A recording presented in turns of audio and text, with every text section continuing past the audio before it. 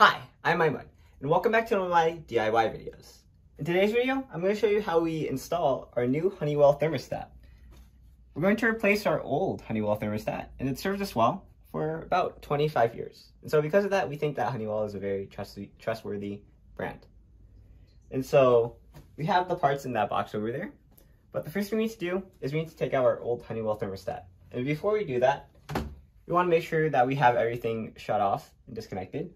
And first off, you want to turn, the, turn off the thermostat. And you also want to flip the breaker to off. So for most people, they'll only have to turn off their AC.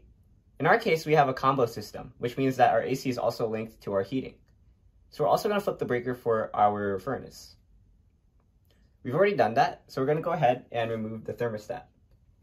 So in our case, we have three screws that we need to take apart, or I mean, to loosen.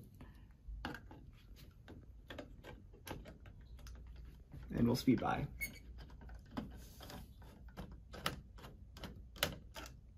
Okay.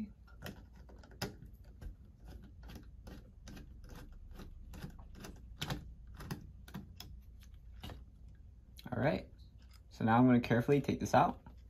I don't wanna drop it because there's mercury inside. This is what the old thermostat looks like. I mentioned in my last video, we had a an ancient thermostat, and you can see it's super dated. I think we even lost the cover for it, so it's just been exposed. But now this gives us access to the wiring in the back. We're gonna turn our attention specifically to the wires right here. If you look close enough, you can actually see labels for each wire, like RH, G, RC, Y, and W.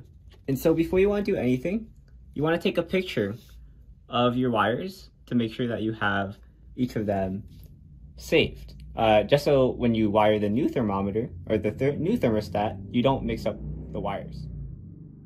Interestingly, you can see that our colors match up with each uh, letter, like green goes to G, yellow goes to Y, and white goes to W. It won't be that case for for all systems. Sometimes you ha might have different colors, but in our case it does. What we're going to do is we're going to loosen these screws so that we can detach the wires. And then we're going to take off the plate.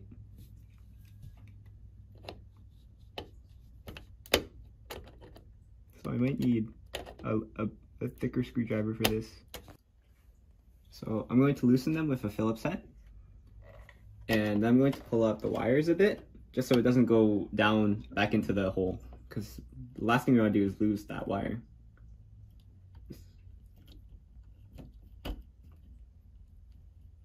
Okay.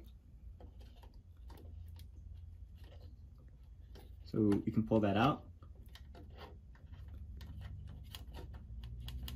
I can't really pull it out of the wall, so I'll just leave it like that.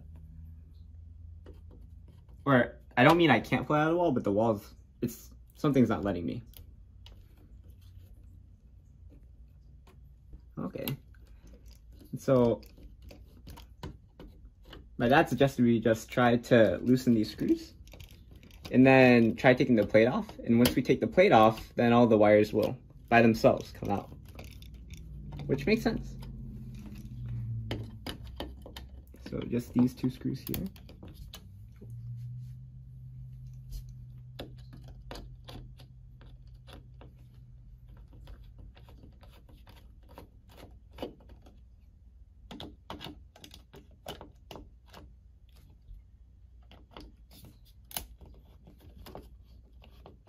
Okay, so now it's loose. Let me get that screw fully off. Okay, so if I take this out, there we go. You can see from behind, the wires, all fully in their sheath, are coming out. So now I can pull this out a bit and see if that makes it easier to take out the wires. I'm just gonna take the, the screws fully out. All right, so all of the wires are taken out of their posts. We're gonna take the plate out. And we're also gonna pull this wire out further so it doesn't get lost back inside. They recommend that you take a pencil and you wrap the sheet, the wire around it just so uh, there's another like like a safety to prevent it from going back into the wall. All right, so we have this little token here taped to prevent it from going back in.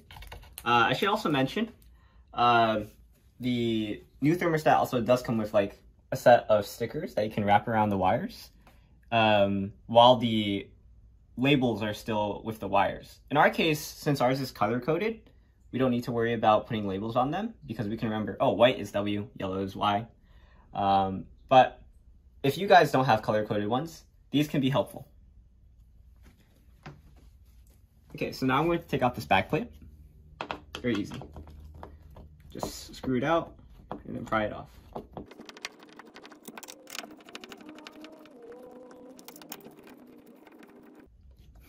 I just realized that's gonna make it hard to take the, uh, this thing's gonna make it hard to pull through.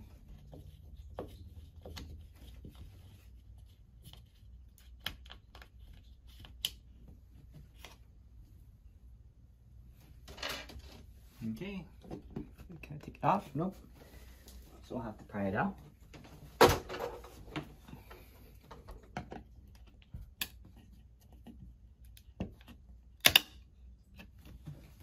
Let's work our way around.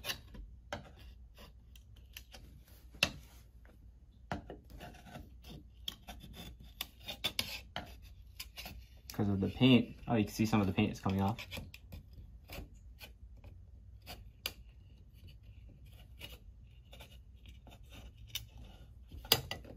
All right, there we go. Now we have it off. I might have to come back later and take this off, off camera. Okay, so next what we're going to do is we're going to straighten out the wires. And then we're going to insert it through the back plate. And while you're here, you want to line up your back plate and figure out where you want to drill the holes. All right, so we're going to come back when we have those holes drilled in.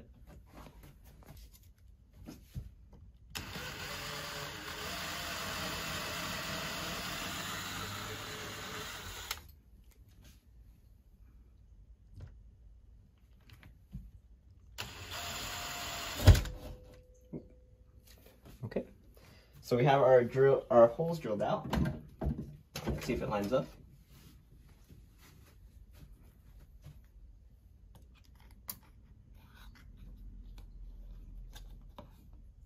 Perfect.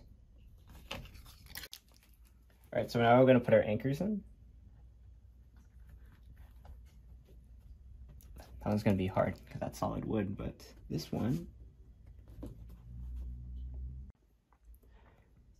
Okay, so as you can see, we have our anchors in there.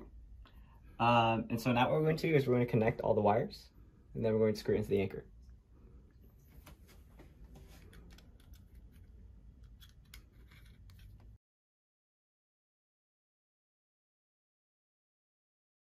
But for now, I'm Aiman, and thanks for watching. Please like, comment, subscribe, and look at other videos on I Aiman, and look forward to that next video on how to install uh, the Honeywell thermostat. For now, I'll see you then. I'm Aiman and signing out.